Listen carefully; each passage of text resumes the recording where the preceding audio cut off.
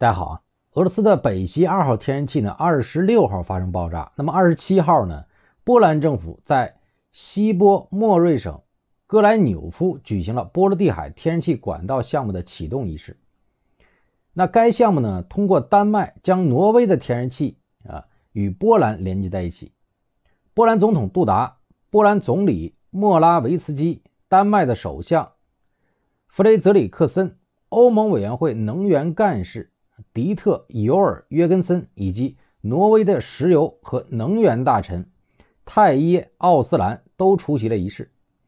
波兰总统杜达表示，对于波兰、丹麦、挪威甚至整个欧盟来说，这一项目开通都是具有非凡意义的。对于该区域来说，更是促进安全、和平以及加强主权的重大工程。波兰总理莫拉维茨基表示，新天然气管道的开通。使得波兰获得了能源的主权、能源自由和安全。那么，欧盟能源专员卡德利啊西姆松他表示啊，波罗的海管道是该地区供应安全的关键项目，也是欧盟推动天然气来源多样化的政策结果。该管道将在缓解当前的能源危机方面发挥重要作用。波罗的海天气管道呢，是一条从北海、挪威大陆架向波兰输送天然气的工程，总长度约九百公里。那将于十月一号正式投入使用。那设计年最高输气量一百亿立方米。这一输气量呢，与俄罗斯天然气工业股份公司对波兰的年出口量相当。被波兰政府认为呢，是天然气供应多样化、摆脱对俄罗斯能源依赖的重大战略项目。波兰石油天然气公司在当天发表的一份声明中表示，到2023年将能够通过该管道进口至少65亿立方米天然气，到2024年再增加10亿。那么28号呢？欧盟呢宣布对俄罗斯实施第八轮经济制裁。欧盟委员会主席冯德莱恩和欧盟负责外交与安全事务的高级代表博雷利。那今天呢，在布鲁塞尔欧盟总部举行新闻发布会，宣布呢对俄罗斯第八轮制裁。冯德莱恩宣布啊，全面禁止俄罗斯商品在欧盟市场的销售，禁止啊增加禁止对俄罗斯出口的商品、技术以及服务清单。波雷利呢则宣布啊增加对俄罗斯个人和实体的制裁清单。同时呢，欧盟还将公布为俄罗斯石油设定限价的法律基础，并采取措施。惩处试图逃避欧盟对俄罗斯。那大家对波兰的这条输气管线不太熟悉，我给大家介绍一下，这条管线呢将取代今年四月份啊被俄罗斯中断的这个天然气啊向波兰输送天然气的管道。波兰去年的天然气呢消费量啊我查了一下，大约是两百亿立方米。那波兰每年呢自己可以生产约四十亿立方米的天然气。卡塔尔、美国已经承诺使用 LNG 啊，就是天然气的这个运输船向波兰提供天然气，所以呢，未来波兰的国内需求啊能够满足。另外呢，包括波罗的海的天然气的终端啊，它呢每年将增加那八十亿立方米。所以呢，波兰拥有这条输气管线以后呢，波兰它的天然气问题就解决了。那波兰气的这条啊，波兰的这条天然气管道呢，自二零二零年开始建设，啊，它是丹麦天然气运输商和波兰天然气管道运输商共同投资的项目，全长是九百公里，其中呢二百七十五公里位于波罗的海的海面以下。这条管线的总投资呢十六亿欧元，那么其中有二点六六亿欧元呢是欧洲投资的啊，也就是欧盟投资。那么现在最新的消息是呢。呃，波兰政府呢已经宣布啊，波兰啊大使驻俄俄罗斯大使馆啊要求呢在俄罗斯境内的波兰人立即撤离俄罗斯。另外呢，今天实际上美国驻莫斯科的使馆也发布呼吁啊，呼吁美国公民立即撤离俄罗斯。他给出的理由呢是美国公民很有可能被呃招募进俄军参战啊，实际上呢针对的是有双重国籍的美国人啊，但实际上大家知道俄罗斯是。不允许有双重国籍的啊，俄罗斯是不允许有双重国籍的。那所以现在来看呢，啊，美国呢，他这个大使馆提出的啊，美国公民很有可能被俄罗斯啊强征入伍参军，实际上只是个借口啊。主要原因呢，还是波兰也好，美国也好，介入了波罗的海啊俄罗斯的这个北溪二号这次爆炸事件。那么美国也好，波兰也好，最担心的就是俄罗斯的反击，俄罗斯很有可能对美国、波兰不利，所以他们呢主动要求自己的本国公民撤离俄罗斯。那么现在最新的消息上，实际上普京呢三十号宣布完啊乌克兰南部四州加入俄罗斯联邦以后，就会针对北溪二号爆炸这个事件有最新的回应了。这个事件呢，实际上呢啊。俄罗斯方面知道背后是谁做的，俄罗斯方面知道，啊，只是现在呢，俄罗斯方面特别普京方面要搜集证据。另外呢，俄罗斯方面其实也是在给什么，在给国际社会一个什么一个时间窗口，让这个事件发酵。啊，现在你看，全世界都在讨论这个爆炸的事件，包括欧洲内部。所以你看，普京现在非常冷静，普京现在不出来表态，你会发现普京的啊，普京最近格外的冷静。几乎没有什么发言。普京三十号要让全世界宣布啊，乌克兰领土并入俄联邦，这是重中。现在普京呢，他现在最关心的还是啊三十号那个演讲，也就是乌克兰南部四州加入啊俄联邦这件事啊。这件事告一段落以后呢，我觉得普京会针对北溪二号啊发表电视讲话，一定会报复的。俄罗斯一定会有行动的啊。另外呢，这件事情呢，现在在全球正在发酵。啊，很多呢正在猜测是美国做的，啊，或者是欧洲自己做的。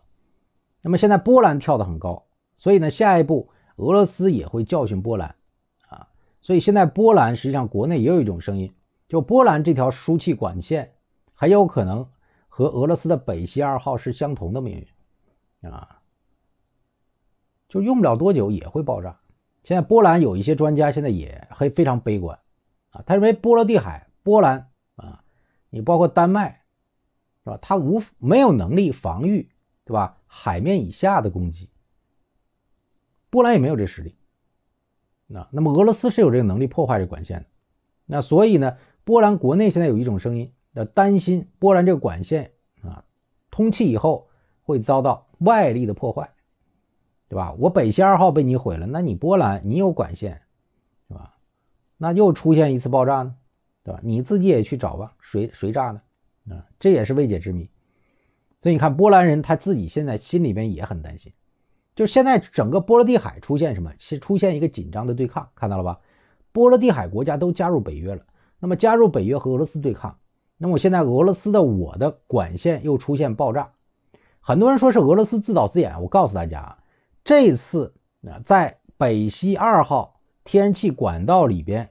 啊，储存的这个天然气，你可以从画面上可以看大量的排泄到这个海里边，总价值按现在这个价格，天然气价格总价值五点四亿美元，没有通气，但是这管道里边是有天然气的，里边的天然气价值按现在这个价值，在欧洲的价值五点四亿美元，就这么放到啊放到大海里边去了，就就这么啊消失了，五五亿多美元就没了。如果是俄罗斯自己做的，你可以想象，对俄罗斯来说巨大的损失，他会这么做吗？嗯，而且在北约眼皮底下这么做，所以一定是北约国家，或者说白了就是美国做的。波兰呢？波兰一定是帮助了美国。所以你看，波兰的专家学者其实很担心啊，就是俄罗斯如果发现就是西方搞的，那我也搞你。你看波罗的海就变成什么？就变成一个战场了吗？原来是在乌克兰打，现在变成在波罗的海水面以下打，那实际上波罗的海就变成战场了，整个俄乌战争就外溢了，外溢到哪儿？外溢到整个波罗的海方向。那么现在在欧洲的，包括在瑞典、丹麦、德国、波兰的华人要记住了，波罗的海现在已经不安全了啊！包括那波罗的海三国都不安全了，俄军很有可能未来在波罗的海方向，特别普京啊，命令海军，特别是他的潜艇部队在海下。是吧？在你的管道附近也会搞行动的啊，所以现在波罗的海方向成为新的热点了。说回美国，怎么报复美国？俄罗斯的现在的啊，且现在这个高官，国防部的高官啊，现在已经发话了。那么如果证实是西方做的，那么美国运往欧洲的所有的 LNG，也就是运气船啊，都要倒霉了。什么意思呢？就是俄罗斯可以攻击你这些运气船，我可以截断你大西洋的通道。用什么？用潜艇啊！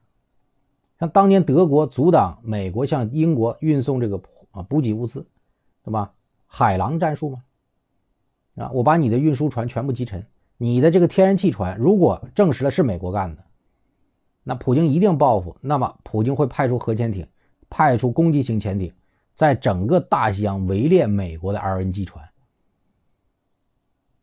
你不想卖把你的天然气卖到欧洲吗？想赚一笔吗？你把我的管道炸了，那我能报复你，把你的所有的 RNG 全部炸沉，那世界大战吗？你可以看到，所以呢，这一次啊天然气管线北溪二号爆炸这个事，对整个世界，对欧洲来说，啊，是巨大的冲击。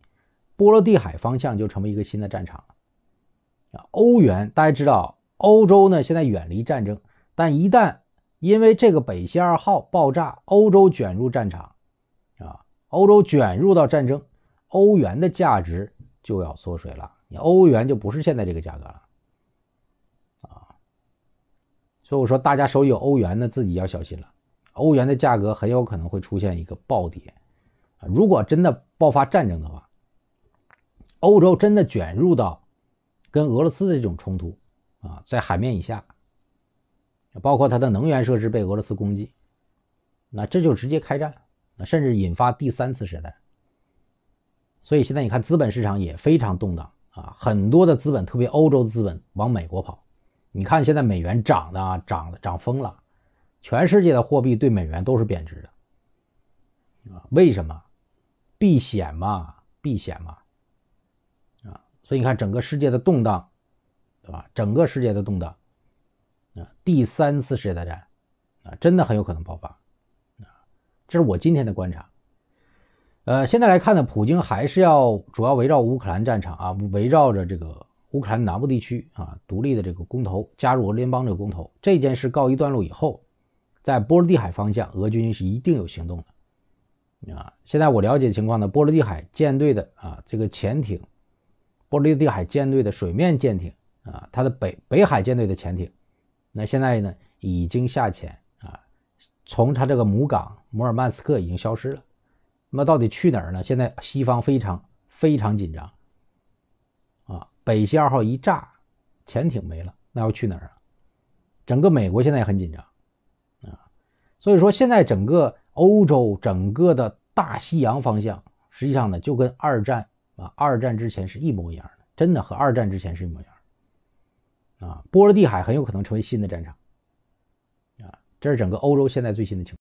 那么现在欧洲呢又出台新一轮制裁俄罗斯的法案，那实际上呢，俄罗斯和欧洲的关系会越来越差。